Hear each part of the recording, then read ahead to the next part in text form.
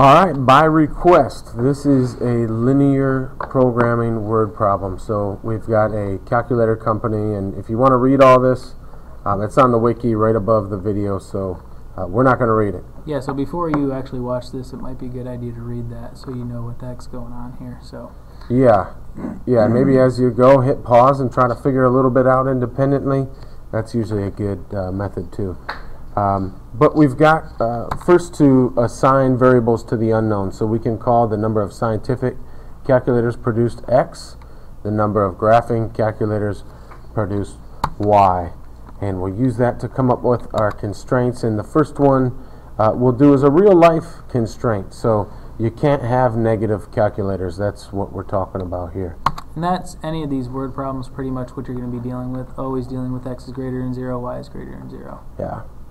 Um, okay, so here we're talking again about scientific calculators. So in the problem, we see we uh, demand at least 100 scientific, that's greater than or equal to 100, and no more than 200. In other words, the demand is somewhere in between 100 and 200. And even though it looks like that's a less than symbol with the by the 100 and the x, if you're reading it from right to left, it's 100 is greater than or equal to x if you switch the order around. So Okay.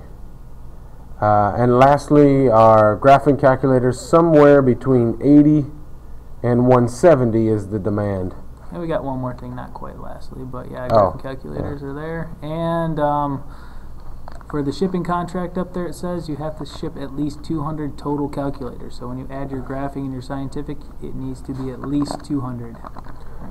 All right, and the last thing we've come up with here is our objective function, and that's what we're trying to uh, maximize here. So we're trying to maximize profit, so our objective function has to do with profit.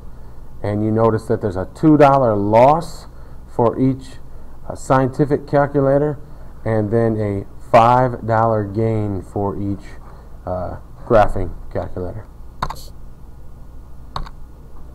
All right, so all those different inequalities, they're over here on the right in the graph. So you can see those different ones. We got the y is between the 170 and the 80. The x is between the, the between the 100 and the 200, and then the total with the shipping is that maroon line there. So, all right. So now what we got to do is those five points that are created by all these lines. We got to figure out which one's going to maximize this profit. All right, so we're going to take and substitute each of those values. The first one's over here, the orange line and the green line where they intersect at 280. Plug those in, you make no money. That's probably not your best interest, yeah. All right, the next one, 200 and 170 up there. Okay, so if you make those 200 scientific calculators, multiply that by negative 2, the 170 times the 5 gives you a profit of 450. Much better than making no money. All I'm still holding out for the big bucks. Yep, yep. So let's see what's next here. All right, 100 and 170. Ooh, good choice, Mr. Reddick. Yeah. Making a little bit more money here. So plug in that 100, plug in the 170, gives you a total of 650. You guys can figure out the math there. And then down 100 and 100.